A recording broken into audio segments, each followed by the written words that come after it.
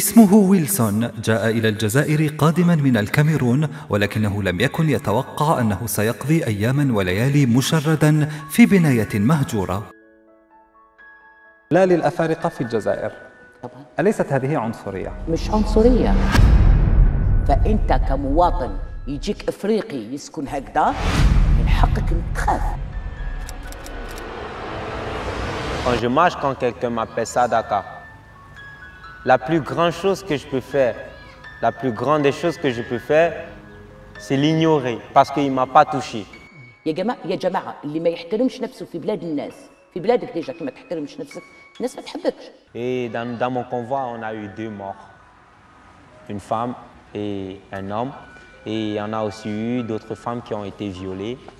Mais je dis Hamdoullah que moi, je n'ai rien eu.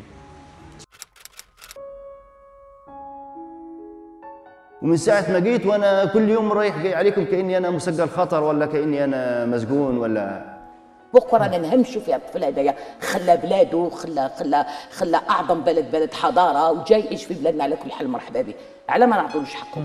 لا أنتوا اللي خليتوني أشتغل لا أنتوا اللي خليتوني عايش لا أنتوا اللي خليتوني أنا ما, ما فهمتش راسي من رجلي.